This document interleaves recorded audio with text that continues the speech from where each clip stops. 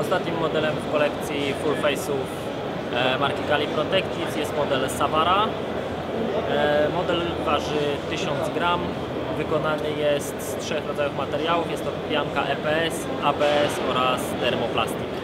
Jeżeli chodzi o wyposażenie, to oczywiście możliwe do wyjęcia wkładki ze środka.